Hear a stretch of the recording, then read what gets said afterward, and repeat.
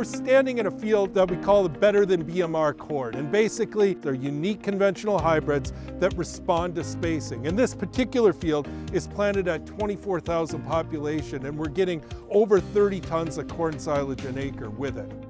I work with progressive dairy farmers all over the country, and a lot of those dairy farmers have started using BMR corn.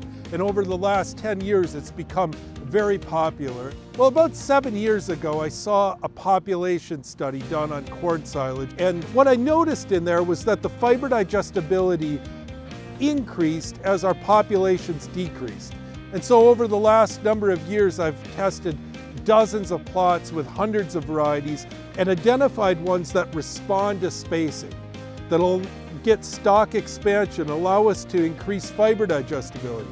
What we're doing by getting stalks that expand is we're increasing the digestible portion of the corn stalk, and we're also not having any yield drag by decreasing the populations.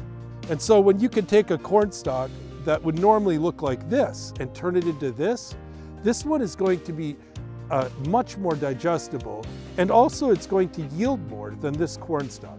It's pairing up unique hybrids that respond to spacing and putting them in a situation where they can exceed and express themselves.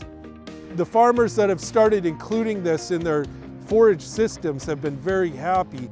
What we've found is that we can create corn silage that looks very much like BMR corn silage without using BMR hybrids.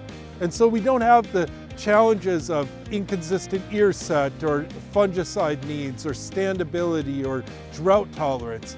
And we're able to do it for a fraction of the cost per acre and actually increase yields on those same farms and do it in a really profitable way. If you want to try it on your farm and pair these unique system with these hybrids, reach out. We'll be glad to visit and see what it can do for you.